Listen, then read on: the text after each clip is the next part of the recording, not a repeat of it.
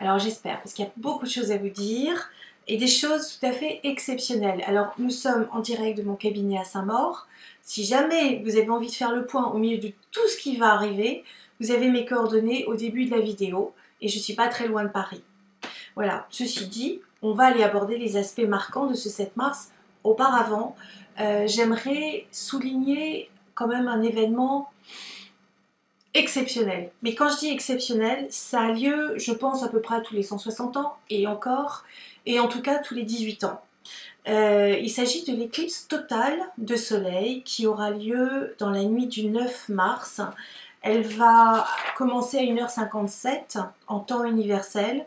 Donc on peut dire qu'elle commence à peu près aux, alentours de minuit, euh, dans la nuit du 9, euh, oui ça, du 9 mars. Et elle va être visible entre l'Indonésie et Hawaï. Alors, là où c'est tout à fait exceptionnel, c'est que cette éclipse-là euh, fait partie d'un cycle de plusieurs éclipses. Vous savez, il y a des, séries d'éclipses euh, de, de, soleil total, des éclipses de lune, et, euh, et, il y a des éclipses tous les 18 ans. Il y a des séries d'éclipses tous les 18 ans. On appelle ça le cycle de Saros. Saros, c'est une périodicité, c'est un cycle. Alors on sait que c'est à peu près équivalent. Et tous les 18 ans, 10 euh, ou 11 jours et 8 heures, hein, c'est à peu près le délai, euh, la position du Soleil, de la Lune et de la Terre va se retrouver à peu près, à peu près, hein, ça dépend de la géométrie, mais sur le même plan. Et donc il va se passer exactement euh, une incidence, on, remet le couvert au même endroit. Et donc là, c'est un cycle de 18 ans qui, s'amorce. en tout cas, on arrive sur un nouveau cycle de 18 ans. Euh, et c'est intéressant de voir que le dernier, donc le Saros 145, et oui, ils ont des, chiffres, hein, puisque nous sommes sur la dixième éclipse là de, euh, du siècle. Là, pour l'instant, euh, je reviens au Saros 145, il a eu lieu, je vous le donne en mille, en août 1999. Vous vous rappelez Août 1999 Paco Rabanne avait dit que Mire nous tomberait sur la figure. Et puis, euh, moi je me rappelle à l'époque, on m'avait posé la question, on m'avait dit Oh, bah, qu'est-ce que tu vois? J'avais dit bah, Moi je vois pas Mire nous tomber sur la tête. D'ailleurs, je serai à Paris à ce moment-là. Et puis, je me rappelle à l'époque, j'avais dit à mes collègues de boulot hum, J'ai dit Je sais pas, je pense qu'il y aura un tremblement de terre. Et puis, euh, je n'étais pas encore installée. Je venais tout juste, tout juste m'installer, puisque ça fait, euh, bah voilà, ça va faire euh, bah, depuis 99 que je suis installée. Et donc juste après, il y a eu l'énorme tremblement de terre en Turquie. Vous vous rappelez? Et mes collègues de boulot ne m'ont plus jamais adressé la parole. Je crois qu'ils ont eu peur. Alors, on ne va pas rentrer dans le fétichisme, dans la peur, dans. Oh, qu'est-ce qui va se passer? Effectivement, on, on, ne peut pas passer à travers les mailles du filet. C'est impossible. Ça, c'est quelque chose de cyclique. Et les planètes, elles ont un champ d'énergie, elles ont une influence sur nous. On ne peut pas contrer ça. On peut changer la manière dont on va recevoir les choses. Mais de toute façon, c'est vraiment une espèce de cycle et on est lancé là-dedans. Donc il va falloir gérer ça. Alors ça nous amène à un très très très très grand changement. Euh, donc les éclipses, juste pour préciser, ça a lieu au moment, au, moment des syzygies. C'est avec euh, des Y. S, Y, Z, Y, G, I, E, S. 6 si vous préférez. C'est-à-dire au moment où le Soleil, la Lune et la Terre sont alignés. Donc on a des éclipses de soleil, c'est juste pour préciser, parce que c'est toujours intéressant à savoir, l'éclipse de soleil, en fait, en général, elle a toujours lieu à la nouvelle lune, et l'éclipse de lune a toujours lieu à la pleine lune. Voilà, comme ça c'est dit. Et il faut savoir qu'au moment d'une nouvelle lune, il y a une nouvelle impulsion qui va être extrêmement importante. Donc si je résume, éclipse de soleil, donc nouvelle lune. Mhm. Ensuite, on a, euh, on a un Saros, donc on est en résonance avec l'éclipse euh, de d'août 99 qui nous a amené un méga tremblement de terre et surtout eh bien, des grands changements au niveau de la politique. Et là, forcément, on en est, on en est aux prémices. Alors, ce serait magnifique si il n'y avait pas tout ce monde dans, le signe du poisson. Je pense que c'est suffisamment important pour que, pour que je l'aborde. Dans le signe du poisson, si je regarde le 7 mars, ça commence tout gentiment. Bon, on, a déjà le, point fictif lunaire euh, qui est le nœud sud, donc l'axe des nœuds lunaires va être en poisson vierge, qui est l'axe de la compassion. Donc on se dit qu'est-ce qu'il va falloir, qu'est-ce qui va se passer pour que la compassion se mette en route? Ça veut dire que ça risque de chauffer hein, si on doit se rassembler autour de la compassion. Ça veut dire que ce sera peut-être pas très facile. Donc juste à côté, on a Chiron. C'est pas en très bon aspect. Chiron, quand c'est comme ça, euh, juste à côté du nœud sud, ça veut dire que c'est quelque chose qui revient du passé. Ça peut être une facture karmique, le, karma étant la loi de cause à effet. Et, euh, et Chiron, c'est la blessure dans ces cas-là. Ça peut être le guérisseur, mais ça peut être aussi la blessure. Donc là, on se dit qu'on a un indice euh, qui nous met pas forcément très à l'aise. Et juste à côté, on a le soleil, forcément, puisqu'il va y avoir l'éclipse totale de soleil. Enfin, deux jours après, on va avoir Cérès. Cérès est un planétoïde dans l'esprit du signe de la Vierge, donc c'est une évaluation intellectuelle. On vous développera ça à un autre moment. On a Neptune, puisque Neptune est dans son signe tous les 160 ans, et voilà, euh, donc euh, ça va être la fête pour les poissons, puisque mettre du poisson, c'est la lune, la nuit est dans son domicile, et en plus le soleil est en poisson. Bon anniversaire aux poissons. Et puis on a Mercure, Mercure c'est la communication, euh, Mercure c'est le maître de la Vierge, Mercure c'est le maître du Gémeaux, la Vierge est un signe de service, c'est dans ce signe-là à l'opposé du signe du poisson qu'on a le chemin de vie, forcément, puisque quand on a le nœud sud d'un côté, en face, on a le nord, c'est automatique, c'est un axe, c'est l'axe des nœuds lunaires, et là il est dans l'axe poisson vierge qui est l'axe de la compassion. Et juste à côté du nœud nord, donc du chemin de vie, c'est-à-dire ce vers quoi nous devons tendre, il y a Jupiter. Jupiter est rétrograde. Aïe Encore une difficulté. Alors, Jupiter, rétrograde, c'est comme les voitures, quand on recule, elle rétrograde. Donc par rapport à la Terre, on a l'impression que Jupiter recule. Et donc l'énergie, au lieu d'arriver en direct, euh, de manière fluide, elle va arriver à l'intérieur dans notre conscience. Et ça veut dire aussi qu'il y a un, impératif karmique, il y a quelque chose que nous sur lequel nous devons travailler. C'est un programme, un peu comme un, comme un cours qu'on a choisi avant de, avant de naître. Donc il y a un programme qui s'active, qui nous dit de partir dans une autre direction, mais qui est influencé par un retour du passé, un retour karmique, que ce soit de cette vie-ci ou d'une autre vie. On a une situation dans laquelle on peut se sentir saucissonné. Comme ce sont des planètes relativement lentes, on peut se dire que c'est collectif. Donc après, il faut voir dans quelle maison, c'est-à-dire dans quel domaine de vie ça vous concerne. Alors je vais continuer mon périple. Euh, parce qu'au moment de l'éclipse, je, je, détaillerai ça à nouveau tous les jours, mais je pense que là c'est quand même très fort et très important. Euh, on va avoir euh, Vénus qui va venir se rajouter, je crois qu'elle arrive le 12, le 12 mars.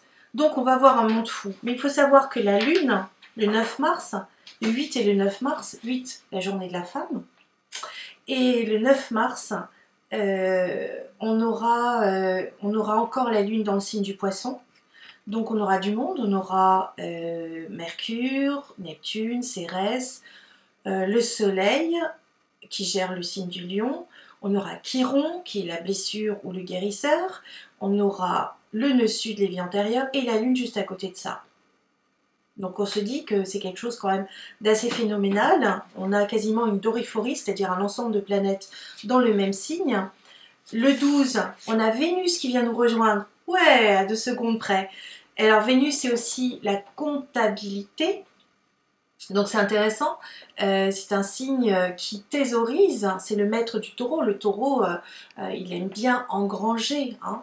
c'est le maître aussi de la balance. Or, on a les deux lunes noires en balance qui demandent une remise en question. donc cette énergie de Vénus, qui est une énergie d'amour aussi, puisque Vénus, c'est les arts, c'est l'amour, c'est la beauté, mais on a aussi Neptune, c'est les artistes, avec euh, notamment la musique. On a vu tout ce qui s'est passé en janvier, puisque Neptune était au carré de Saturne. Euh, ça commençait. Et bien là, toutes ces planètes-là, elles sont donc en aspect délicat avec Saturne dans le signe du Sagittaire. Or, le Sagittaire, c'est un signe religieux, on va dire j'exagère quand je dis que c'est un signe religieux, qui peut avoir une incidence qui joue sur la religion. Mais ça va être aussi celui qui va foncer, ça va être euh, le leader, ça va être le spécialiste, le maître du Sagittaire, ça va être Jupiter. Or, Jupiter est rétrograde, opposé à toutes les planètes, ou en tout cas aux nœuds lunaires, en poisson. On se dit que là, c'est quand même chaud bouillant, c'est pas anodin ce qui se passe. Ensuite, Saturne, Saturne c'est la Terre, c'est le maître du Capricorne. Donc on peut se dire qu'il peut y avoir des problèmes qui sont liés à la Terre. Or, si moi je me souviens bien, en 99, eh bien, il y avait eu cet énorme tremblement de terre. Là, on sait qu'il y a, euh, y a donc cette éclipse totale de soleil qui va balayer l'Indonésie euh, et, euh, comme je dit tout à l'heure, et Hawaï. Donc, il peut y avoir des problèmes à ce niveau-là, liés à l'eau. Donc, est-ce qu'il y aurait un tsunami? Ça pourrait être possible. Est-ce qu'il y aurait un tremblement de terre? Euh, Ça peut être envisageable. Euh, et juste à côté, alors c'est le pompon, on a Mars, le 12 mars d'ailleurs, Mars qui arrive, qui est lui aussi euh, au tout début du Sagittaire. Et donc Mars, il faut savoir que c'est comme un détonateur, c'est une mèche que l'on allume. c'est intéressant de voir que ça se passe au moment des élections euh, des élections américaines. Donc on se dit qu'il y a quelque chose qui est explosif, qui est sulfurant. On allume quelque chose, c'est vraiment quelque chose de karmique. Comment on va faire passer pour passer entre les gouttes de, cet événement qui m'a l'air d'être bien collectif et euh, difficile euh, d'échapper à ça? Et donc le tout va être opposé donc à Jupiter, Jupiter qui est au carré de Saturne. Euh, et le carré exact. Donc un carré c'est un, aspect un peu plus difficile que les autres, c'est une marche un petit peu plus euh, difficile, à monter plus large, et donc elle demande un effort. Euh, il peut y avoir un blocage, il peut y avoir tout simplement une facture karmique qui est présentée qui ne correspond pas à cette vie-ci, qui correspond à une vie passée, et qui vous demande de lâcher prise, lâcher, lâcher, lâcher, de vous réorganiser, de vous bien vous centrer, et surtout euh, d'aller vers ce qui est authentique pour vous. Vous ne pourrez plus être dans les faux semblants. Alors, tout ce qui va être scandale, scandale qui va être lié à la religion par exemple, hop, ça remonte. Euh, Neptune en poisson, enfin le poisson c'est quand même un symbole christique. Euh, le Sagittaire, on, a quand même l'homme d'église aussi, le prélat avec Jupiter rétrograde, maître du Sagittaire. Saturne c'est la personne plus sage, mais c'est aussi la Terre. Donc on peut se dire qu'il y a des choses qui sont un petit peu compliquées. Et je reviens à l'éclipse de soleil euh, qui est dans le signe du poisson. Le soleil, symboliquement, euh, c'est les dirigeants, les dictateurs. Euh, donc il peut y avoir un problème lié ou un scandale lié à un dictateur. Mais le soleil, c'est quand même l'étalon or, c'est de l'or. Or, façon de parler, opposé à Jupiter, la loi, en vierge, l'économie, est-ce qu'il n'y aurait pas un problème avec l'économie qui dévisserait? Donc, est-ce qu'il n'y aurait pas un problème chez les banquiers?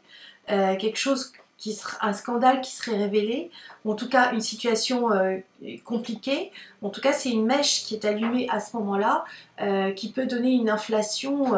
on est loin sur, on est loin de quelque chose de positif. On est plutôt sur une rigueur, et sur euh, l'effondrement de quelque chose qui n'est pas juste. Si c'est juste, ça vous touche pas. Si c'est pas juste, alors là, ça, ça vole dans tous les sens. Neptune, euh, c'est quand même le flou. À côté de Mercure, par exemple, le 12 mars, euh, Mercure, c'est quand même pas simplement le 12 mars, hein, c'est quasiment tous les jours de la semaine, c'est quand même relativement lent, mais ça se rapproche le 12 mars.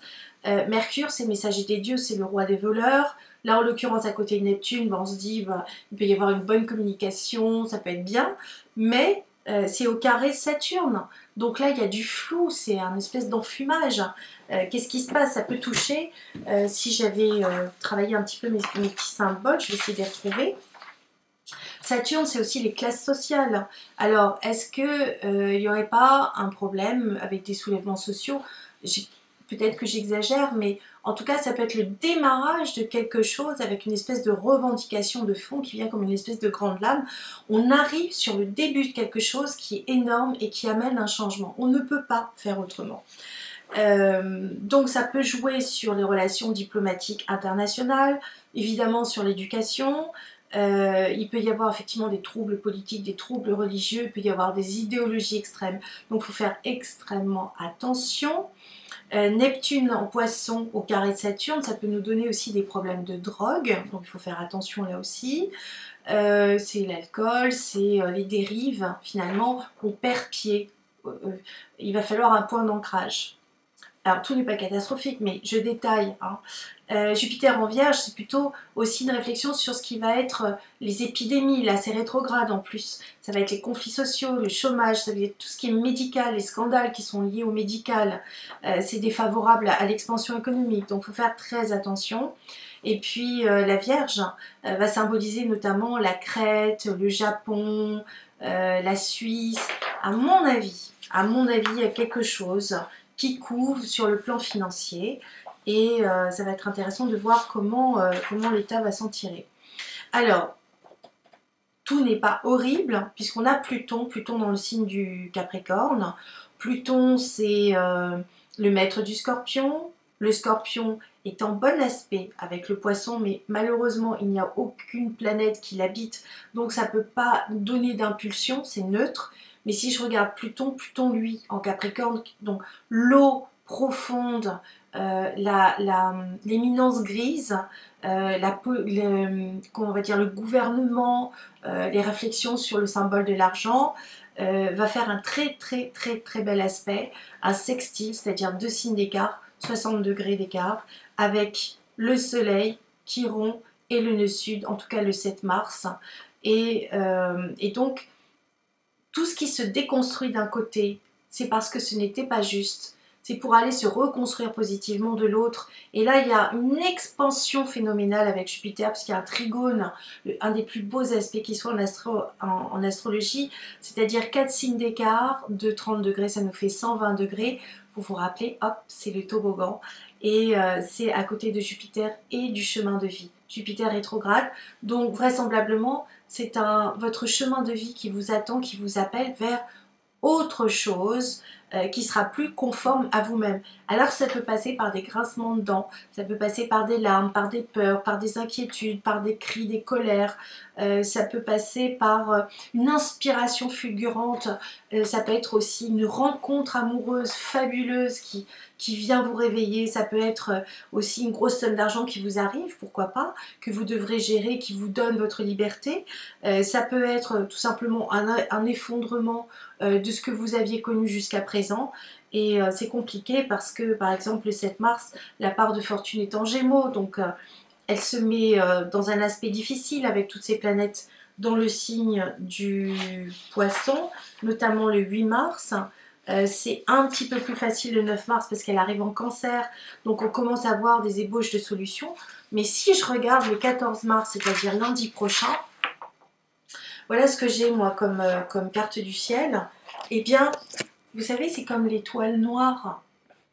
Regardez cette espèce de faisceau qui s'est rassemblé pour aller dans ce sens-là avec Jupiter, le chemin de vie, le sentiment de joie et la lune noire. On a bien quelque chose de très très très karmique qui arrive, euh, qui nous dit qu'on a intérêt à se transformer et que cette transformation de toute façon nous sera bénéfique.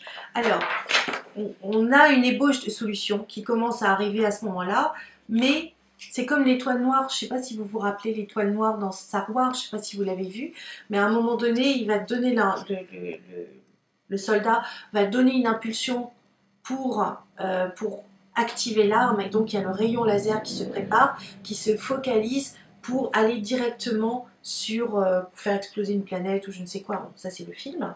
Et euh, bon, il se trouve qu'on fait exploser l'étoile noire avant. Mais là, imaginez qu'il y a cette espèce de de, rayons laser qui est en train de se rassembler dans le signe du poisson et c'est pas anodin puisque ça fait partie d'un très très grand cycle qui est le cycle de Saros qui a lieu donc tous les 18 ans euh, que c'est avec une nouvelle lune puisque c'est une éclipse totale de soleil que c'est un nouveau départ et que ce nouveau départ, eh bien, il va falloir l'accepter ou en tout cas s'arranger et faire en sorte que ça puisse aller de l'avant. En attendant, ça risque d'être dangereux puisque Neptune euh, ça peut être les gaz, ça peut être ce qui est volatile, ça peut être l'eau, ça peut être les virus. Euh, donc, ben en fait, soyez prudents, faites votre stock d'eau, on ne sait jamais. Euh, si vous avez peur des inondations, on ne sait jamais. Après tout, pourquoi pas? Eh bien, mettez vos meubles à l'abri si vous êtes. Et puis, euh, ben, n'oubliez pas d'être heureux, tout simplement. Je sais que j'ai raconté des choses affreuses, mais en même temps, c'est aussi la réalité. Ça peut être une mèche, en tout cas un nouveau départ, quelque chose que vous ne supporterez plus et vous allez dans une autre direction. On détaillera tout ça prochainement, euh, bah, demain. Demain, je serai peut-être un petit peu plus euh, courte parce que là, je sais que j'ai pris beaucoup, beaucoup, beaucoup de temps. Mais en même temps, je pense que c'est tellement important qu'il fallait vraiment en parler. Je vous souhaite une très belle journée. Malgré tout ça, préparez-vous. Et, euh, et je vous embrasse et je vous dis à demain, petits amours.